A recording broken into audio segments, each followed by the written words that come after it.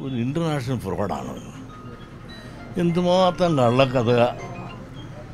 അതിലൂടെ ഏതായാലും സമ്പന്നരായല്ലോ പുതിയ വീടൊക്കെ വെച്ചെന്ന് കേട്ട്. ഒരു സത്യവുമില്ലാത്ത പല പ്രസ്താവന ഇറക്കി. ഏതാണ്ട് യൂത്തിന്റെ മൂത്ത് ആരുണ്ടാക്കി ആയിരുന്നു എന്റെ കളഞ്ഞതാണ്.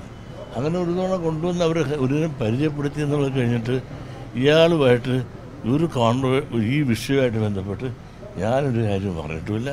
ആരെ കൂട്ടിച്ചേർക്കാനോ അതല്ലെങ്കിൽ ആരെങ്കിലും അതിൽ നിന്ന് മാറ്റാനോ ഒന്നും ഞാൻ പറഞ്ഞിട്ടില്ല. ഇത് പഴഞ്ഞ പഴയ ഒരു അധ്യായം അടഞ്ഞതാണ്. ഇപ്പോൾ എന്തിനു പൊക്കിക്കൊണ്ടുവന്നെന്ന് എനിക്ക് മനസ്സിലാകുന്നില്ല.